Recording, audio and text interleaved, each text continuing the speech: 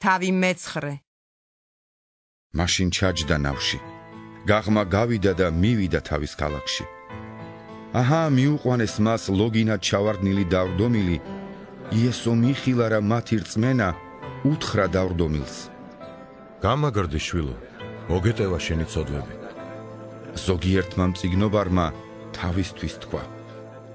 ეს კაცი გმობს.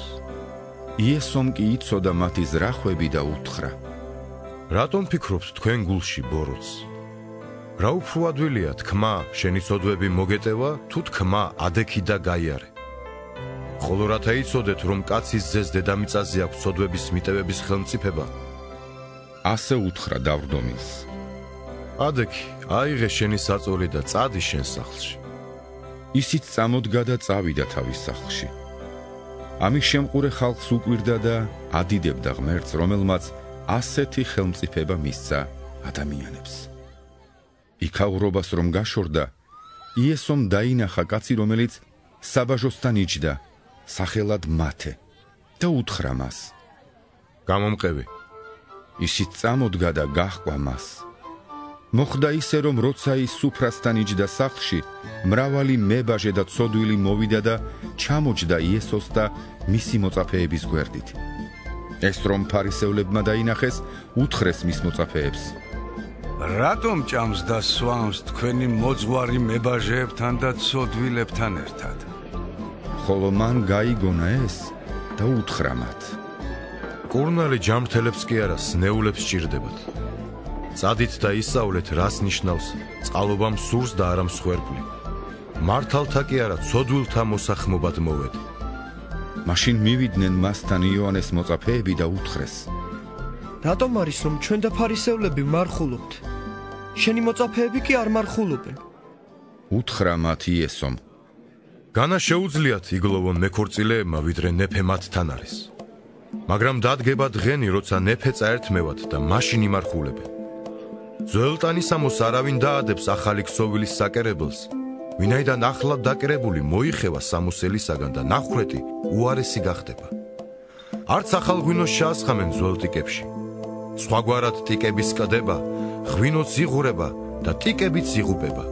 არამედ ახალ ღვინოს ახალ ტიკებში ასხამენ და ორივე ინახება. როცა მათ ამას ელაპარაკებოდა, მივიდა მასთან ერთი მთავარი, თაყვანისცა და უთხრა: ჩემი ქალიშვილი წეღან მოკვდა. მაგრამ მოდი, შენი ხელი დაადე მას და გაცოცხლდება.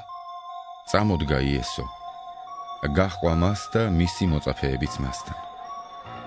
აჰა ერთი ქალი, რომელიც 12 წელიწადს იტანჯებოდა სისხლის დენით, უკნიდან მიუახლოვდა და შეეხო მისი სამოსლის კალთას. ვინაიდან თავისთვის ამბობდა: მის სამოსელსაც რომ შევეხო, განვიკურნები.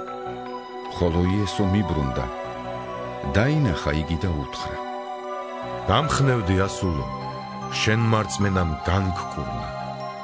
და ქალი იმავე საათში განიკურნა.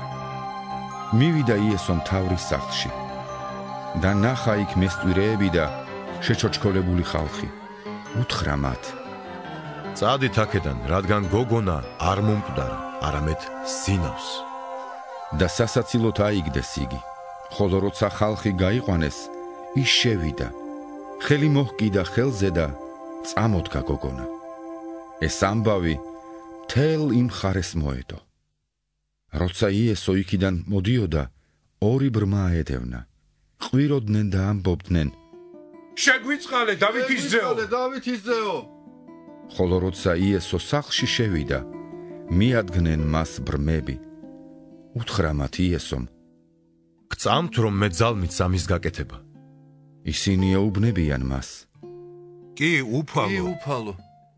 მაშინ შეეხო მათ თვალებს და უთხრა: თქვენი რწმენისამებრ მოგეგოთ.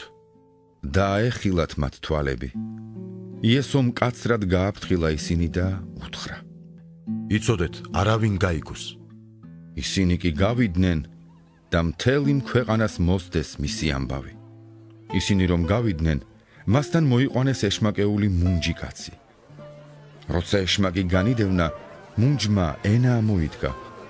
გაკურებული ხალხი ამბობდა: ასეთი რამ არასოდეს მომხდარა ისრაელში. ფარისევლები კი ამბობდნენ: ეშმაკთა მთავრით დევნის ეშმაკებს. დადიოდა იესო ყველა ქალაქსა და სოფელში.